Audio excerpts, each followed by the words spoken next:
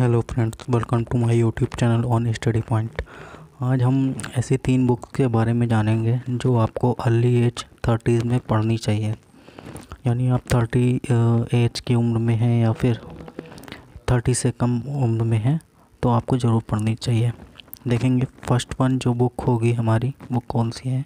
How to win friends and influence people by Dale Carnegie ठीक है? ये book आपको बताएगी कि हमें लोगों को कैसे इन्फ्लुएंस करना है या उनको कैसे अट्रैक्ट करना है। इवन दो अगर वो आपसे बात नहीं करना चाहते हैं, फिर भी आपको कैसे अपनी तरफ़ उनको मोल्ड करना है और कैसे उनको इन्फ्लुएंस कर लेना है।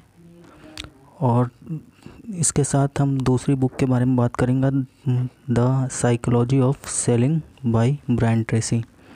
इस बुक के बारे में आपको ये बताना चाहूँगा कि इसमें आपको बताया गया है कि किसी भी प्रोडक्ट या सर्विस को हम कैसे सेल करें, ठीक है?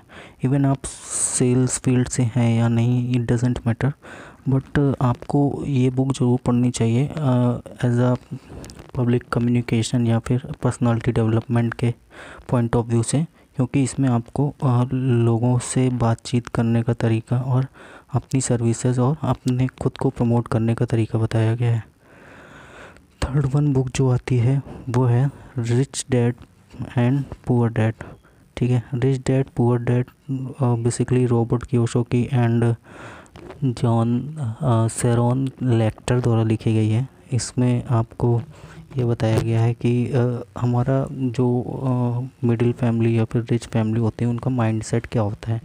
उन फैमिलीज़ में हमें कैसे प्रोग्रामिंग हमारी बचपन से की जाती है कि पैसा कैसे कमाना चाहिए और कैसे उसे इन्वेस्ट करना चाहिए, ये सारी चीज़ें और ये सारी स्किल्स आपको इस रिच डैड पुअर डैड की बुक से सीखने को मिलेंगी। थैंक्स